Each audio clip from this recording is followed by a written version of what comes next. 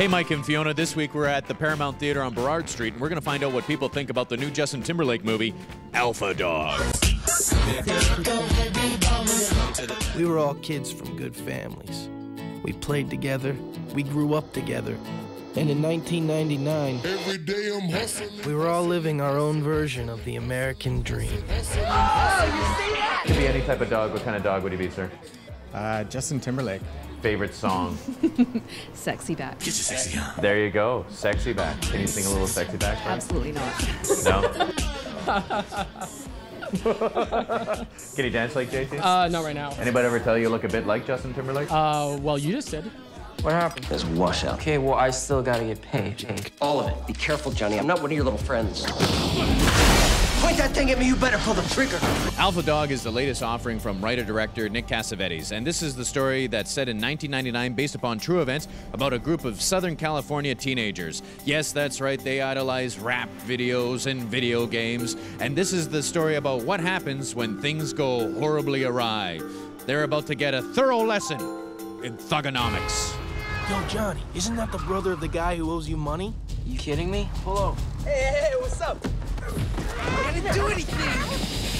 So you just saw Alpha Dog, so would you say see it, skip it, or rent it? I'd say see it. See it? Yeah? How about you? See it. I'd rent it. Definitely see it. Uh, see it. Rent. Thing is awesome, dude. You should go see it. Uh, there's lots of cute boys in it, so it's good. yeah, I would see it in theaters. It's good. Yeah, yeah, see it definitely. It's like it's like a little indie movie made big features. It's for the teens, I think. For the kids? Yeah, There you I go. think so. Okay. If you asked for ransom, You're probably looking at life. yeah, come. What if I were to offer you $2,500 just to kill the kid?